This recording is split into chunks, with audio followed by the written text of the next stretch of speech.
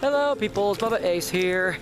I know it's the end of the world that I didn't do my signature way because I'm currently in the middle of packing. I got my suitcase and stuff, packed my stuff in my car because we just checked out of our room. And uh, what's gonna happen now is we're going to uh, get our stuff in our vehicles, be back in the park. We're, we're not leaving the park just yet, we're just checking out our room and packing up our stuff and then we're gonna get back in park, do a few more things. And best part today is I have my GoPro fully charged, so I'll be able to get some uh, few V shots of uh, doing some of the water slides, and then uh, once that's done, we'll be able to uh, do other stuff while still in the park before we uh, leave later this um, evening. So, that being said, I'll uh, get my stuff packed up and then head back inside and uh, show you all more of the goodness.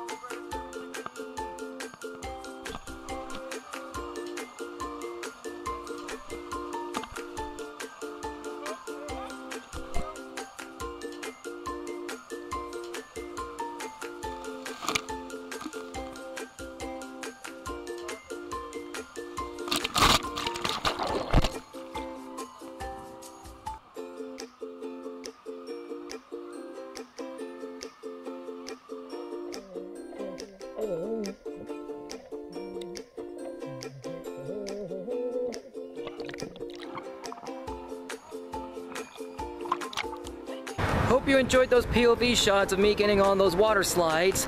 They were a lot of fun, but uh, the rest of the family and I have been here for about a few hours. You know, having fun the slides and the pool and the wave machine, a lazy river and stuff.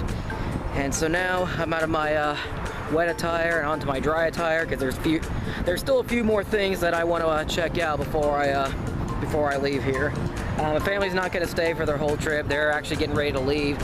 I, on the other hand, have a few more things I want to get shots of and uh, before I head out myself. But uh, yeah, hopefully it shouldn't take too long. So it, right now I'm just heading back to my car and uh, gonna put away all my uh, wet stuff and the GoPro because I don't really need it anymore, at least for the rest of this trip. And then I'm going to uh, head back inside and get some more shots to show off to you guys.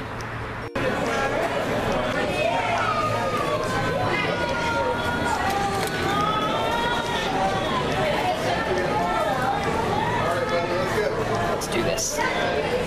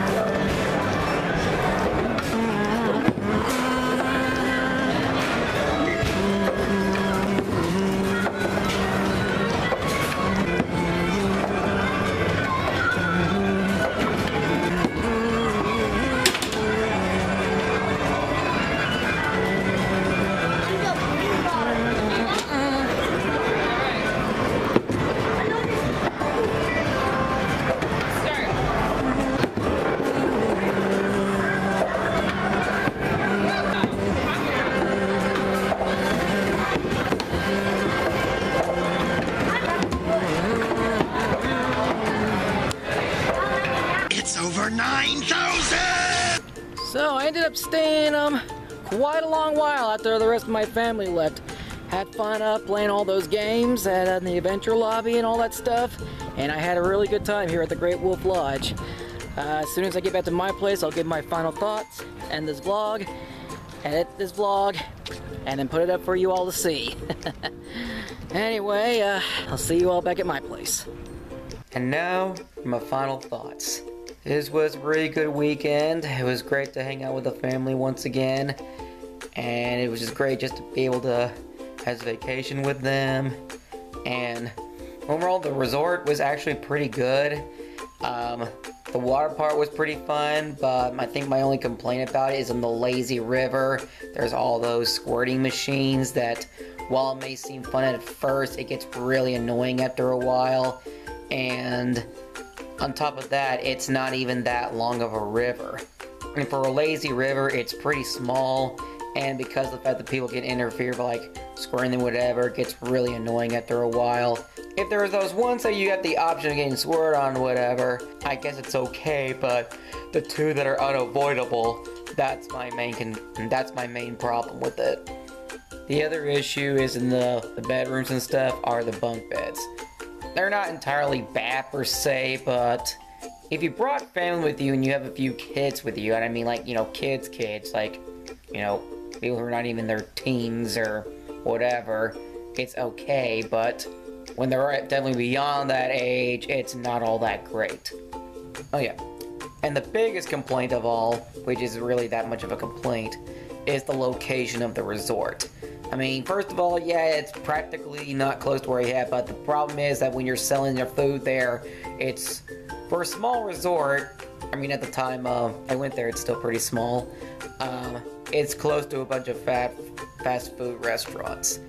On the one hand, I can understand why you have the prices for the foods and stuff there as being kind of pricey because of, you know, the fact that it's supposed to be a really big resort, but the thing is, this is not a big resort and secondly, it's close to a bunch of fast food places. So really, anyone could just walk out anytime, get any, mm, uh, get like a bunch of Big Macs for like, you know, twenty dollars or something, as opposed to having to spend like twenty dollars and getting like two cheeseburgers or something. So while my biggest concern is not about the location of the resort, it's the prices of your foods.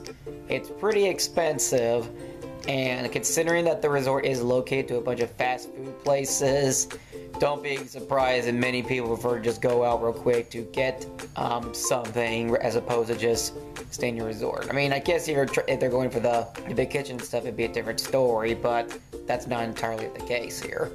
Overall, it was still a lot of fun. It was a great experience, and I'm glad I got to share this experience with you guys.